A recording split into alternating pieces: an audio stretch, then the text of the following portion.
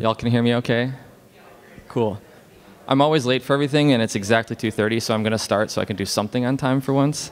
Uh, so, thanks. So my name's Julian Simioni, um, and I'm going to talk to you uh, a little bit about why geocoding is hard and how you and OSM uh, can help. So I work on the Pelias geocoder. Uh, you hopefully have heard of it. Um, we started it at Mapzen, and you might have heard that Mapzen is no more, which is a little sad. Um, but in a huge success for open source, basically all of the projects that Mapzen started have continued on strong. Uh, that's awesome, right? Score one for open source. Um, for us, on the Pelias team, two of us have co-founded a company called Cleared for Takeoff.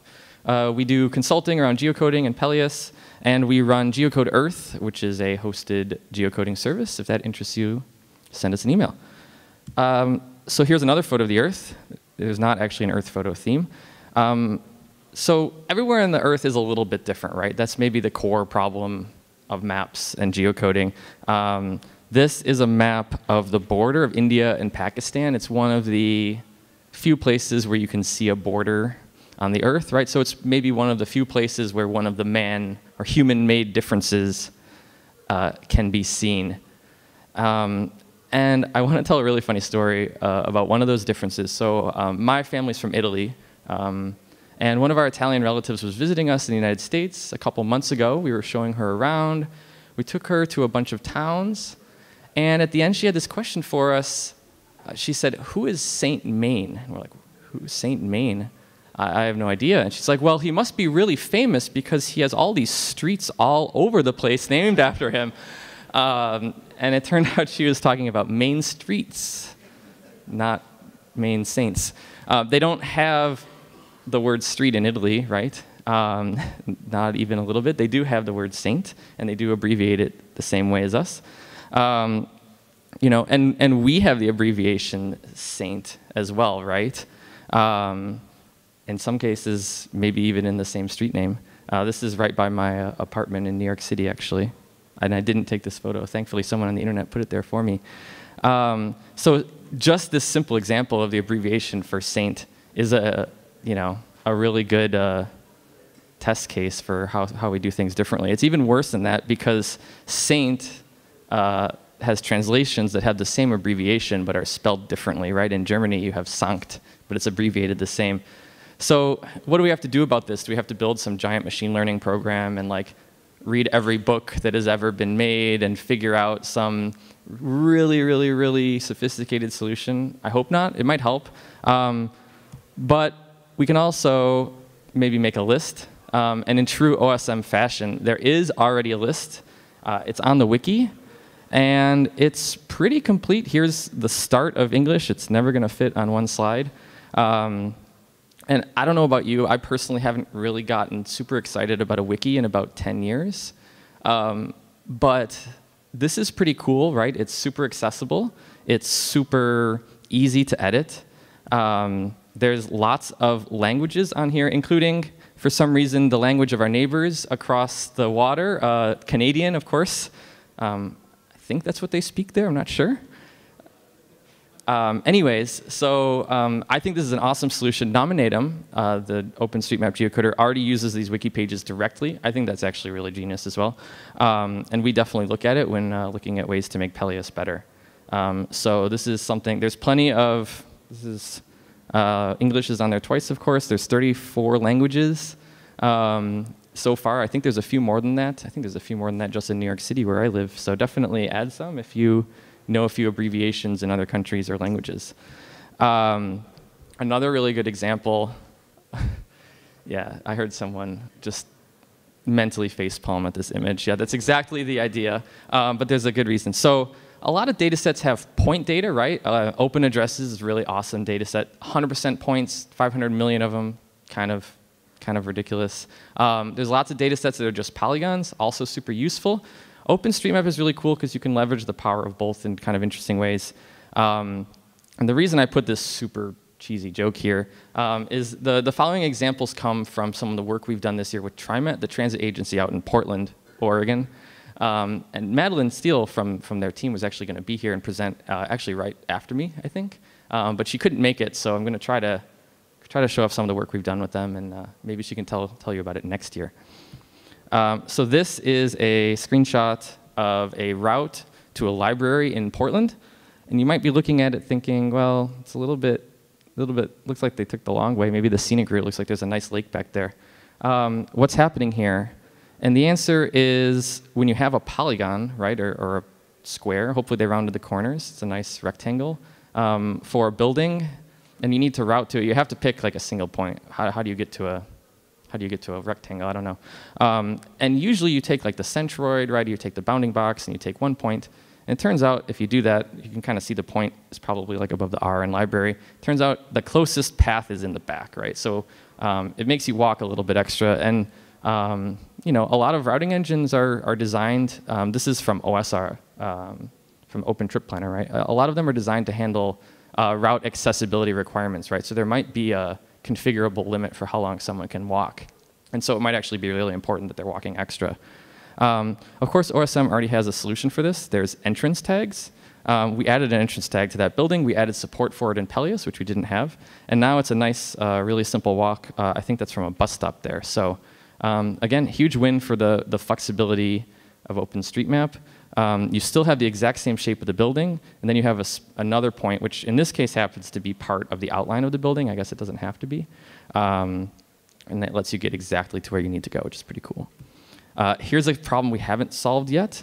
Um, Portland International Airport is pretty big, as you can see from the giant red outline here. Um, if you take the centroid of this, I think it's actually on one of the runways. Uh, pro tip, you should not go on a runway um, in like a car or something if you're trying to drive to the airport.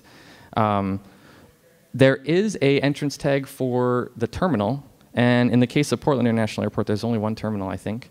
Um, but when you search for Portland International Airport, you don't get the terminal, and there's no uh, there's no link in between them. So um, I think that's something we may have to we may have to figure out. Maybe we have to make the airport a relation. I checked a bunch of other airports, and they were only relations if it was because the shape of the airport property required a relation. Um, so maybe we need to come up with like a new tag or something. And when I say come up with a new tag, I'm sure some of you think back to maybe some maybe not so friendly discussions that have happened on mailing lists or elsewhere. It might, might look something like this to you. I don't know. Um, and, and I don't know, you might feel a little like, ah, oh, man, we have to like debate and like everyone's gonna chime in and it's gonna just be like long and painful. um, but this is actually a strength of OSM as well because no one knows how to build the perfect map and we're all kind of figuring it out together, right? And our discussions about tags or anything else um, they should probably be a, a little less rage-inducing sometimes. We definitely need um, more voices in those discussions. Uh, not everyone's really able to participate equally right now, but the fact that we have those discussions is like a feature, not a bug. Um, if we were waiting for the perfect schema to, de to describe the whole world to come around, I think we'd be waiting for a while still. Um, so that's pretty cool. So let's hope we, we figure out something there. If anyone has ideas, I'd love to hear it. Um, another really interesting thing to think about. Um, here is two images from two very different cities. I know they look the same, that's kind of the point. Um, these are two cities on opposite sides of the earth. Anyone want to take a guess as to where these are? Exactly, no one has even the slightest clue. Great. Um, let me switch to satellite view and, uh, and see if they still look similar. Ooh, they do not. Uh, anyone have any ideas now? Yes. Sorry? Little Rock, Arkansas is not correct. Um, one of them is a gimme. Uh, on the right side is Detroit, Michigan. And this is just like a mile away from here or less. And then the other side is Johannesburg in South Africa. Um, what's going on? Like, how, how is it possible, right? They look the same here, and they don't look the same here. Um, so many of you may know that Detroit has been undergoing a massive effort um, to remove blight from the city, and there's a little bit of blight in Detroit. Um, I think they've demolished 14,000 buildings, and they have a goal of demolishing 40,000. There's lots of other other uh, incentive or uh, any, lots of other programs to clean up the city. um, and kind of make way for, for things to be a lot nicer in the future, including uh, tearing down lots of abandoned buildings, sometimes turning them into farms, which I think is really, really cool. Um, so what that means is this, this map on the right is actually complete. It doesn't look complete, right? Um, but it is. But on the, on the left side in Johannesburg, you have the opposite problem. You have a very, oops, sorry, you get to see it again. I know it's funny. Um, you have a very, you know, bustling city, right? Johannesburg, I think, has like 9 million people in it. Um, and then the map in OSM is very incomplete. So something to think about here is, you know, both, uh, both Pelias and Nominatim have interpolation engines, right? And they're specifically designed to handle the case where there's incomplete data, right? And so both of them in, in cases like this will gladly interpolate between the few addresses that are there. And that's great when the data is complete, or incomplete rather. When the data is complete, then it's going to make things up that don't actually exist. Um, that's something we're thinking about. Last year, if you were not completely distracted by the mountains uh, outside the window in Boulder, I know I definitely was quite a bit. Um, you might have heard Aaron Cope give a talk um, about who's on first. He talked about lots of different things, including emoji. Uh, I learned a lot about emoji then. He also talked about this idea of managing absence.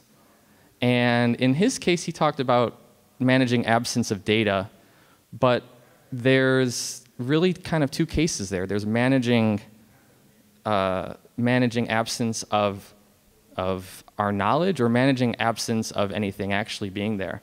And maybe you could argue that there's always something there, right? There's a field, there's something um, but there's really two facets to that problem.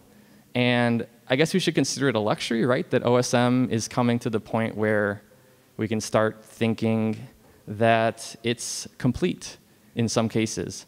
Um, but uh, we are going to have to think about that because uh, just like uh, just like this, uh, or just, sorry, excuse me, I had a really, really great uh, ending line, and so I'm going to try it again. So, um, no, I'm not. Never mind. Anyways, thank you so much. That's my talk. Uh, if you have more questions about geocoding, about Pelias, um, come chat with me after. And uh, enjoy. Uh, this is my hometown, Detroit, so it's good to be here. Um, people have been asking me where to go. Uh, I say you should drive a car four hours to like Traverse City. It's really beautiful in the Upper Peninsula or in northern Michigan. Um, but Detroit's cool too. So it's good to see you all. Thanks a lot.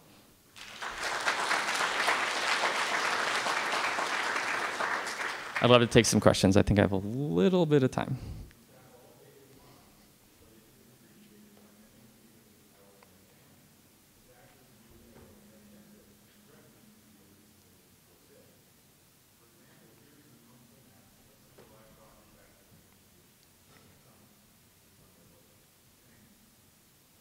I can see people thinking.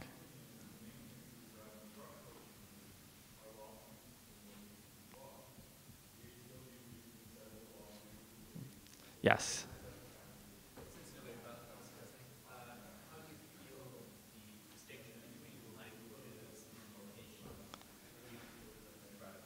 Yeah. yeah. Um, I mean, isn't there a whole concept of locale to solve that problem, right? Where it's the combination of language and um, and location, right? Because uh, I lived in Berlin for a while, for example, right? And um, plenty of people speak English in Berlin, uh, there's you know many many multilingual places, and um, so I, I think that as that as that wiki page in particular grows, I'm sure they'll eventually adopt that. I don't think that that's really really a problem, and uh, also it's pretty ambiguous what it what the headings mean. So I, I kind of forced that joke because I thought it was it was pretty funny, right? But so there are solutions for it. That is, I think, one one complexity of human language in place that we have a pretty decent solution to. I'm sure someone who knows all about locales can prove me wrong. Anything else? Cool. Well, thanks a lot, and uh, I'll talk to you tonight and tomorrow.